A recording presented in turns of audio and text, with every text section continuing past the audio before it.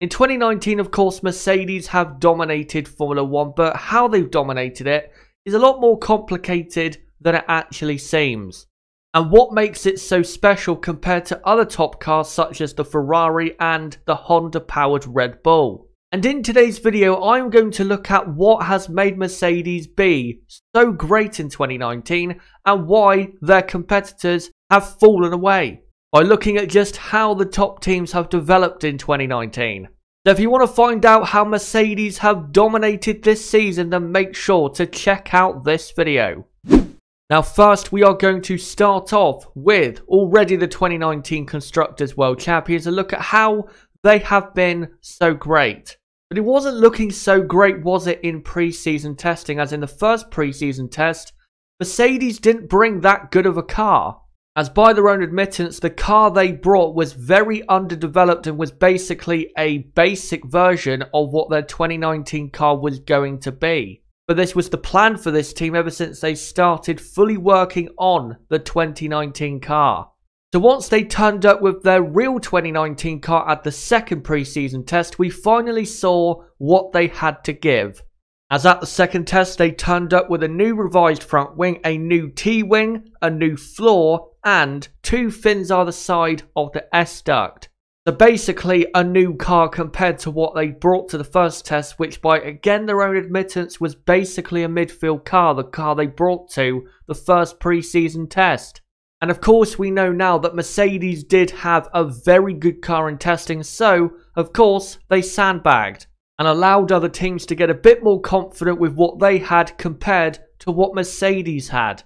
But once we came to the Australian Grand Prix at Melbourne, they completely obliterated the field as they finally showcased what their 2019 car was, and it was an absolute beast. As especially in qualifying, the way that car looked through the fast corners, it looked like it was on rails. And their main competitors, Ferrari, had no answer.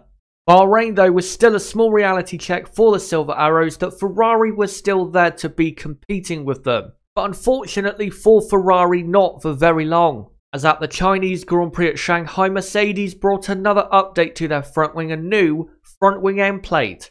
This allowed them to stretch out the gap they had to Ferrari in the corners and made them dominate the Chinese and Azerbaijan Grand Prix. Races that Ferrari were expecting to be a lot better at, but the Mercedes development machine was already working in full force to keep the Silver Arrows on top. But then once we came to the Spanish Grand Prix, a Grand Prix where the biggest updates from all the teams have brought, the Brackley team stretched out their lead when it came to grip in the corners even further, as they brought new turning vanes and revised mirrors, and that gave them probably their biggest advantage in the corners in the entirety of 2019. And from that period on, there has been no doubt about it that this team has had the best car when it comes to grip and winning at racetracks such as Monte Carlo, Paul Ricard, and the Hungaroring has solidified how great their car is when it comes to grip in the corners.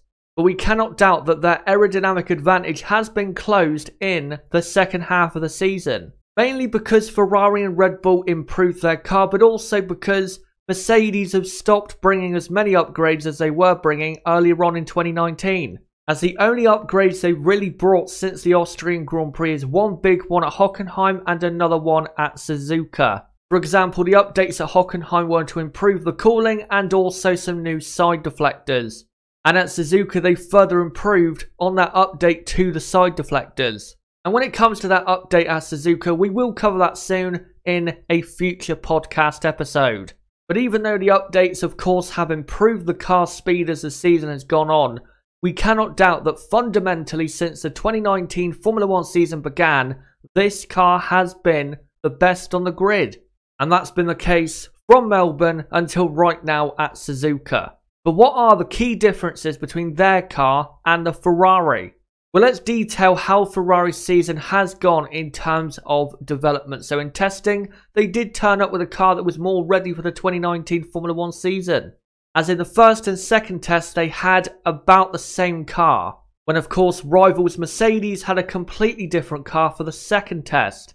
But coming away from testing, as we all know, Ferrari were the favourites to win in 2019. But after those lacklustre results in Melbourne, Shanghai and Bahrain, Ferrari started to rush the development of the Ferrari SF90 because they were desperate to save any title chances they had. So first up, we had new bargeboard pieces and a new rear wing for Ferrari and Baku. And they brought even more parts to the Spanish Grand Prix, but these weren't really working for them. They were not closing the gap in the corners in the way they were wanting to meaning that their title chances for 2019 were over before they really began. And the biggest problem for Ferrari when it came to the design of their 2019 car was the radical front wing design they had. A front wing design that was almost different from every team.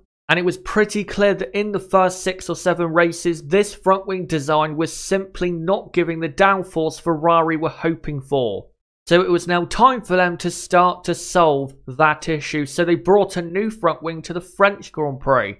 But still the updates were not working and that is another key reason why Ferrari in terms of development have struggled in 2019 because their developments were not really working until the Singapore Grand Prix.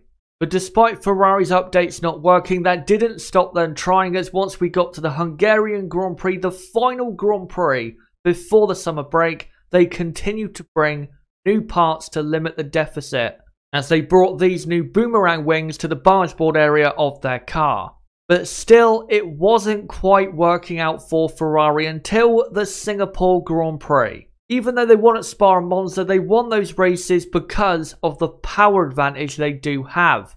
They were still struggling a lot in the corners until again the Singapore Grand Prix where with the new front nose cone and the new rear floor, Ferrari were a lot closer to Mercedes and Red Bull in terms of grip, allowing Ferrari for the first time really since 2018 to on a regular basis compete for pole positions and race victories. And you have to say, out of the top teams, this update is probably the biggest update we've seen in 2019 in terms of the actual impact of the new parts. Because after that, in Russia, Ferrari got pole position and should have won the race, and Suzuka, Ferrari dominated qualifying. But again, because Ferrari's updates in 2019 have just not worked out as much as they should have, it's too little too late.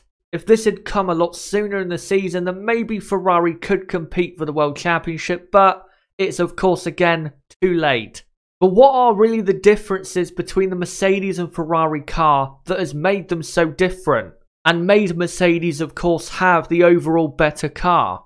Well, the biggest difference is the front end grip of the Mercedes and the lack of front end grip of the Ferrari. The front end grip has improved after Singapore, but earlier on in 2019, it was a big problem. As you can see on these screenshots, the Mercedes car was able to really get the nose into the corners a lot more than the Ferrari. And because of that, the Ferrari then in the slower corners where you desperately need front end grip was really struggling. And if you look at these sector times from the Spanish Grand Prix of 2019, you can see in the final sector where all of the slow corners are, Ferrari are miles off Mercedes.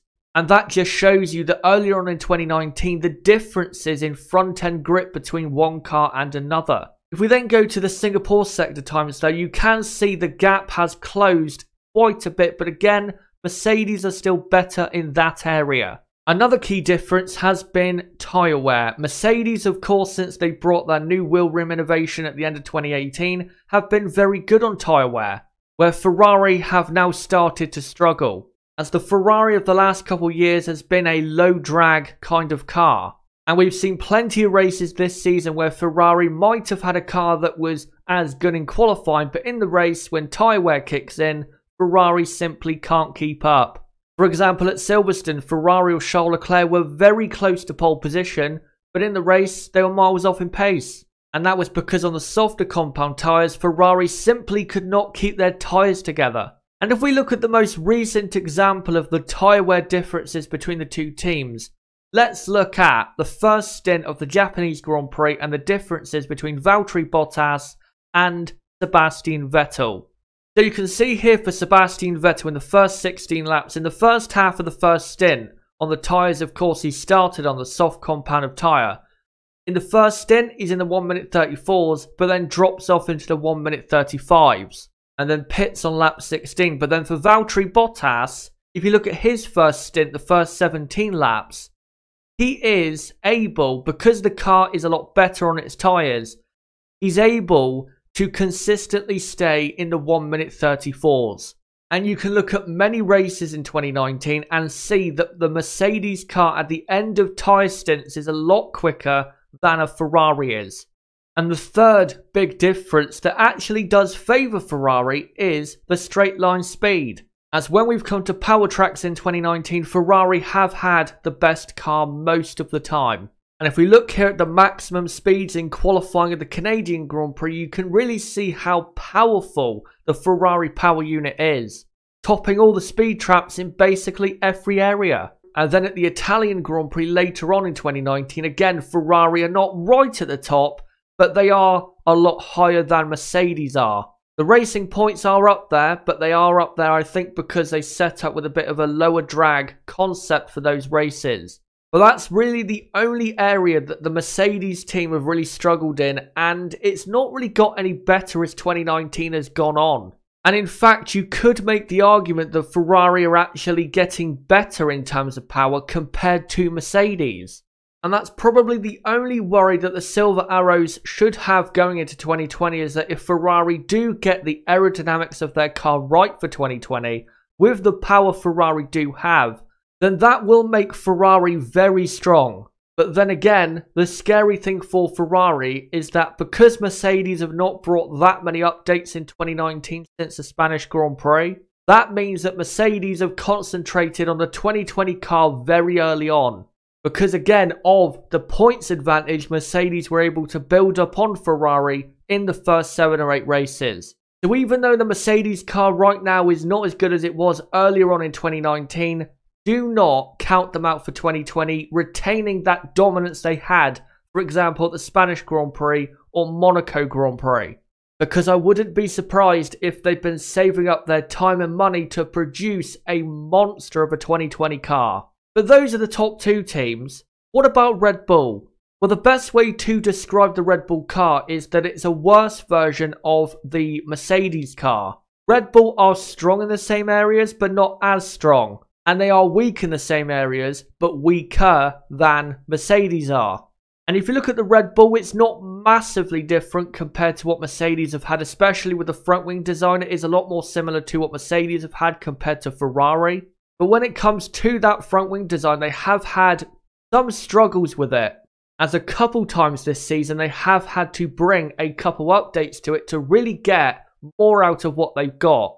For example, in Shanghai, they brought some slight improvements to the front wing. They did bring some new bargeboard pieces to the Spanish Grand Prix, but it wasn't massive.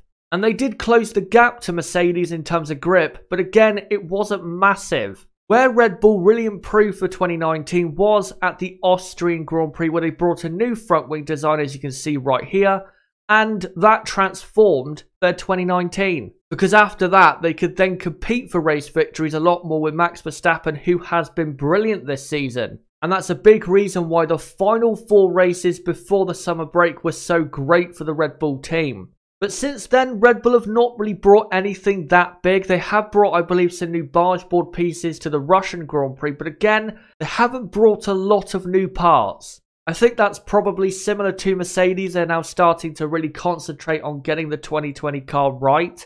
But I do think also that's partly why their pace has dropped off now compared to how it was, such as at Silverstone or Hockenheim or Hungary. And when it comes to where Red Bull have been strong week this season, again, it is very similar to the world champions. Red Bull, in terms of grip, do have a good car. The overall grip of the car is good, but it's not the best in Formula 1 like it was in 2018.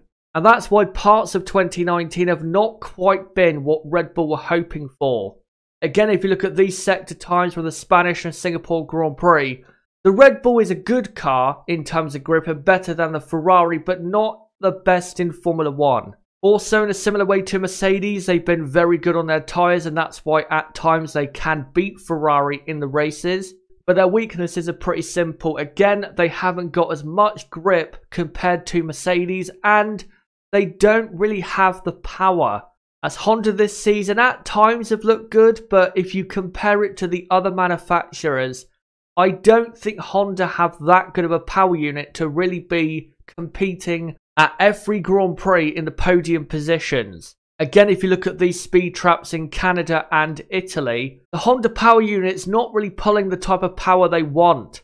And that is something, of course, for 2020 they are hoping does improve. But I think for Red Bull, as I said earlier on, I think when it comes to bringing new parts to their car, I think they are now really starting to concentrate on 2020 because they don't want to start 2020 how they started 2019, which was a bit mediocre compared to how they ended 2018. But that, guys, is why Mercedes this season have been so good and have won the World Championship. But let me know in the comment section down below, guys. When it comes to the cars and the grip of the cars, what are the key differences for you? Let me know in the comment section down below. And also, don't forget to subscribe for more content like this and hit the like button also for more content like this. And until my next video, guys, tomorrow at 12pm UK time, it has been me, ChazzaHD. Goodbye.